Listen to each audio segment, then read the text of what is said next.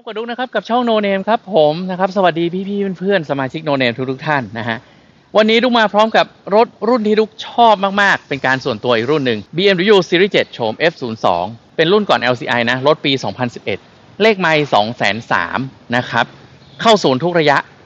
บางคนเห็นตัวเลข2 0 0 0 0 0อุ้ยมาเยอะ จริง ๆ มันก็ตามระยะเนาะปี 11 ปีนี้ปี 22 เฉลี่ยใช้รถปีละ 20,000 ก็ 2 0 0 0 0 0กว่าๆโดยประมาณราคาอยู่ที่ 950,000 บาทเท่านั้น เดี๋ยวไปชมกันเลยดีกว่าครับว่าออปชั่นเต็มๆสภาพเป็นยังไงกันบ้างนะครับ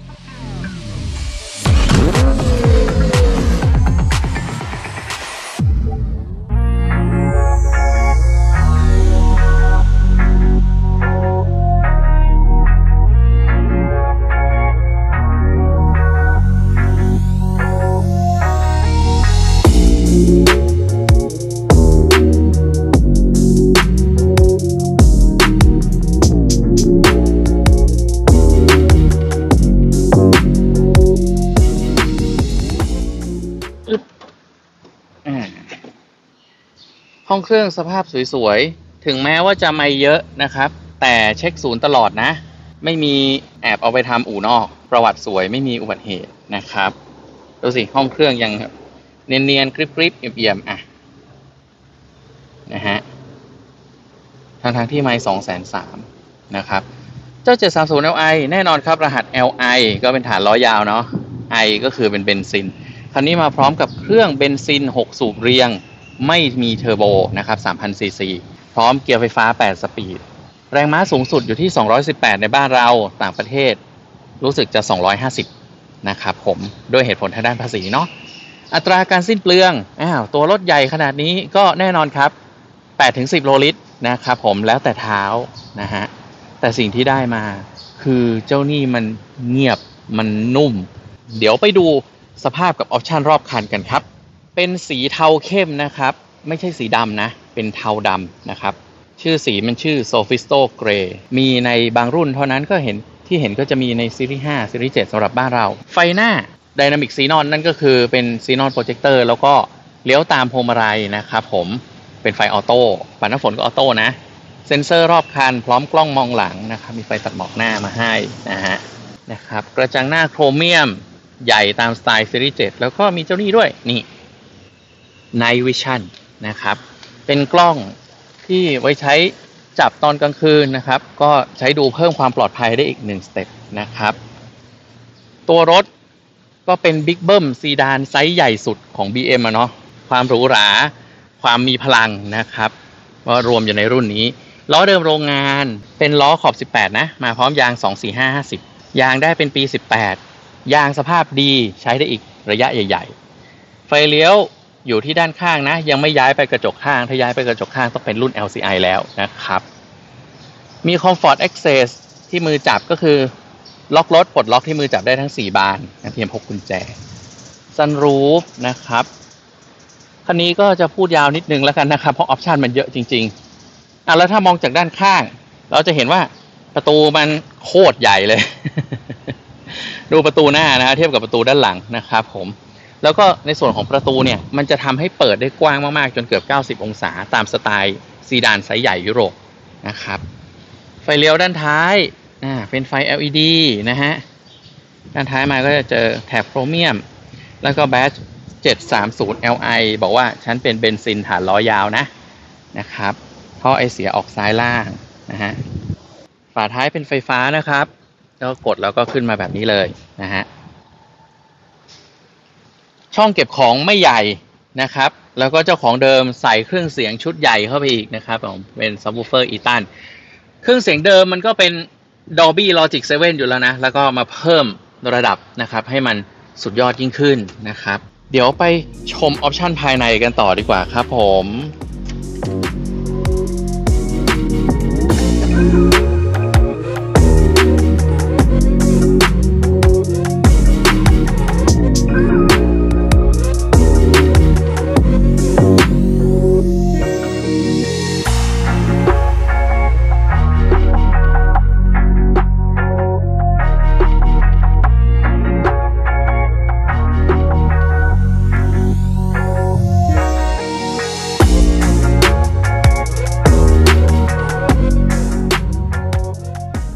มาต่อกันที่หน้ารถนะครับ อย่างที่ลูกบอกไปมันเป็น Comfort Access เนาะใช่ไหมฮะ กดตรงนี้มันก็จะล็อกรถนะครับผมนะล็อกเรียบร้อยนะครับสอดมือจับลงไปนะครับ ก็จะปลดล็อกนะฮะ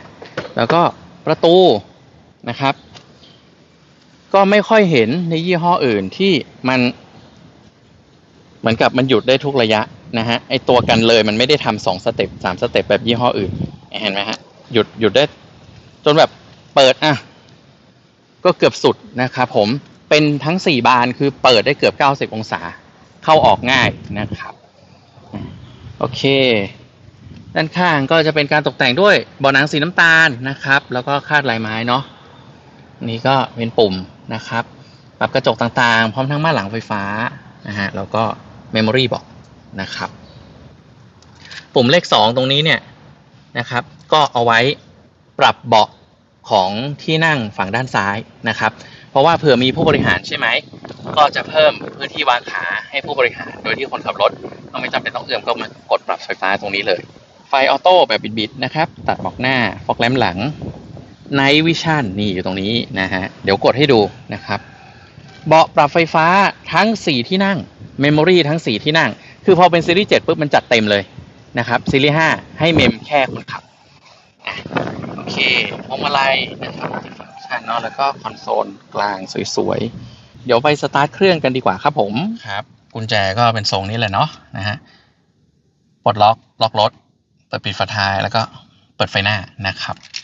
พกกุญแจไว้กับตัวแล้วก็เหยียบเบรกแล้วกดสตาร์ทกันได้เลยปุ่มสตาร์ทอยู่ทางซ้ายตรงนี้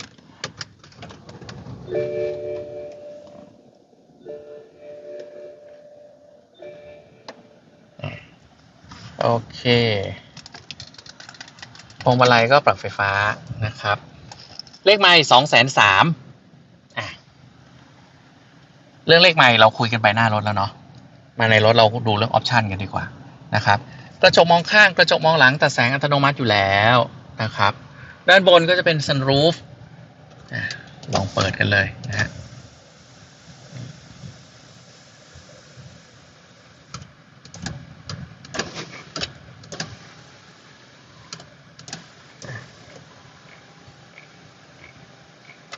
ใช้งานได้สมบูรณ์นะครับเผื่อว่าไปต่างจังหวัดเนาะ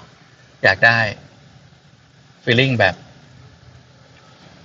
อากาศธรรมชาตินะฮะ partition เขาก็จะเป็นแบบแข็งนะครับเราปิดตรงนี้เลย ลองเปิดให้ดูครับ ไม่เปิดค้างไว้เพราะว่าร้อนจริง ๆ นะครับ หน้าจอเป็น iDrive จอใหญ่นะครับ ก็มี hard drive แล้วก็มีแผนที่นำทางนะครับผม ก็ครบถือว่าครบสุดแล้วในยุคนั้น ถัดมาก็จะเป็นแอร์นะครับ แล้วก็เครื่องเล่น DVD ของ BMW นะครับแอร์คันนี้เป็น 4 โซนนะ ไม่ใช่ 2 แยกปรับอุณหภูมิอิสระ 4 ตัวนะครับอ่าโอเค ตรงนี้ก็จะเป็นแอร์ที่เบาะด้วยนะครับที่เบาะก็จะมีทั้งฮีเตอร์นะฮีเตอร์ตรงนี้นะ แล้วก็เป็นแอร์ด้วยนะครับแล้วตรงนี้เป็น ช่องเก็บของนะฮะ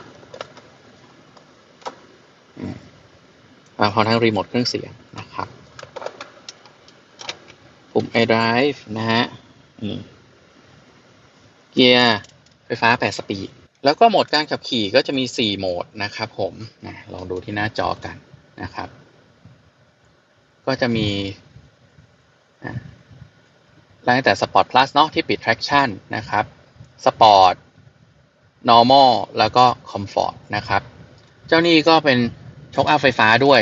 สิ่งที่เปลี่ยนไปก็เป็นเครื่องเกียร์พวงมาลัยคันเร่งเบรกแล้วก็ช่วงล่างนะครับ ตามชื่อเลยสปอร์ตช่วงล่างก็จะแข็งนะ comfort ช่วงล่างก็จะนิ่มนะฮะเบรกมือไฟฟ้านะครับพร้อมออโต้โฮนะฮะแล้วก็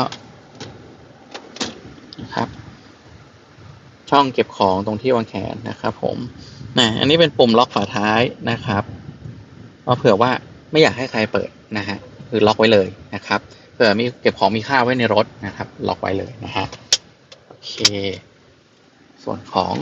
ช่องเก็บของด้านหน้านะครับจะมีสองช่องแบบนี้นะครับ ก็เป็นใส่ซีดีไว้นะฮะ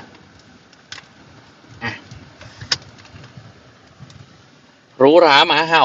นะครับ คันนี้เนี่ยเป็นคนขับก็สนุกนะทุกเคยเอาซีรีส์7 รุ่นนี้ออกขับทางไกลโอ้โหมันขับสนุกแล้วมันขับสบายมากๆด้วย แล้วก็นั่งหลังยิ่งฟินนะครับในส่วนของเฟลลิ่งการขับขี่ด้วยความที่ว่าเจ้านี่มันเป็นท็อปสุดของ BM Sedan นะครับทุกอย่างที่มันมีเทคโนโลยีอะไรมันก็เอามาใส่ในนี้หมด ไม่ว่าจะเป็นความสนุกในการขับขี่ความปลอดภัยหรือความนุ่มสบาย มันครบเครื่องจริง ๆนะครับ เป็นคนขับก็ดี เป็นคนนั่งก็สุดฟินนะครับ เดี๋ยวไปลองนั่งหลังกันดีกว่าครับ ว่าเป็นยังไงกันบ้าง หลังซ้ายนะครับของเจ้าซีรีส์7คันนี้แล้วนะฮะก็ผู้บริหารเขาชอบนั่งตรงนี้ไง เราก็เลยต้องมาลองนั่งตรงนี้เนาะนะครับที่วางขาขอโทษนะครับ เหลือเป็นฟุตขออนุญาตเนี่ยเหยียดเท้าไปในจนจนเกือบสุดเลยนะฮะเพราะฉะนั้นสูง 173อย่างดุกนี่นั่งเหลือเยอะมากๆนะครับ ช่องเก็บเอกสารนะฮะยังใช้งานได้ดีนะครับ ทั้งสองที่ แอร์หลังนี่ไงแยกปรับอุณหภูมิเห็นไหมนะครับ แล้วก็เบาะหลังก็มีฮีเตอร์แล้วก็มีแอร์ด้วยนะครับ นี่มีช่องใส่ซีดีแล้วก็เสียบหูฟังนะครับสำหรับเบาะหลังด้วยนะครับแอร์ไม่ได้มีแค่ตรงนี้มีที่เสาด้วยนะฮะก็คือเน้นคนนั่งหลังกันแบบสุดๆเลย มีช่องเก็บของด้านข้างนะครับ ตรงแผงประตูเนาะแล้วก็นี่ม่านไฟฟ้า ซึ่งม่านไฟฟ้านะครับ มันควบคุมได้ทั้งสองด้าน คือหน้าเรานั่งด้านไหนก็ได้มันกดขึ้นทั้งซ้ายทั้งขวานะครับ กดขึ้นมาก็เป็นอย่างนี้นี่เป็นซีรีส์ห้าแล้วก็เอามือไปดึงๆเห็นไหมฮะซีรีส์เจ็ดปุ๊บกดเอานะครับทั้งม่านหลังและม่านข้างนะครับ ผม ก็เพิ่มความเป็นส่วนตัวนะครับ แล้วก็มีที่สุดยอดกว่านั้นนะครับ นอกเหนือจากระบบความบันเทิงเนาะ อะให้ดูเบาะหลังก็สภาพสวยๆ จุดยึดเบาะเด็กสองจุด นี่ตรงนี้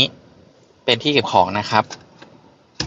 อืมก็คือไว้ใส่ของใส่รีโมทใส่อะไรต่างๆ แล้วมันเป็นหุ้มหนังแบบแข็งมันไม่ใช่เบาะ เพราะฉะนั้นคันนี้นั่งสี่คนนะครับ นั่งห้าคนเนี่ย เจ็บก้นเลยนะครับ แล้วก็นี่ เบาะหลังปรับไฟฟ้า คือมันปรับเอนได้นะครับ แล้วก็ยืดขาได้นะฮะช่องใส่ของจุกจิกนะครับ นี่ ก็ไม่จุกจิกอะเยอะเลยละฮะนะครับ เพราะฉะนั้นนั่งหลังเนี่ยฟินสุดๆ นี่ช่องใส่แก้วน้ำนะครับ ดูหนังฟังเพลงเล่นเกมนะครับ และที่สำคัญนะฮะอะเป็นผู้บริหารก็สามารถปรับเบาะข้างหน้าไปได้ด้วย เดี๋ยวนะครับ ปรับโฟกัสให้ก่อน นี่เห็นไหมฮะพอเรากดเลขสองปุ๊บเนี่ย แล้วเราปรับตัวเนี้ย มันก็จะเลื่อนเบาะหน้าไปได้อีกคราวนี้อะเดี๋ยวลูกลองปรับสูตรให้ดูนะ ว่าถ้าสมมติว่ามีคนขับแล้วนั่งข้างหลังหนึ่งคนขอโทษนะครับ ที่วางเท้า เหยียดสุดแล้ว ปลายเท้าด้วยยังไม่แตะเบาะหน้าเลย สบายสุดๆ memory เบาะหลังรวมไปถึงนี่ เบาะนวด ใช้งานได้นะครับ มีนวดสองระดับนะฮะก็จะเป็นนวดหลังเบาๆนะครับผมสบายๆผ่อนคลายจากการทำงานนะครับฟินจริง ๆคันนี้ คือถ้าเป็นครอบครัว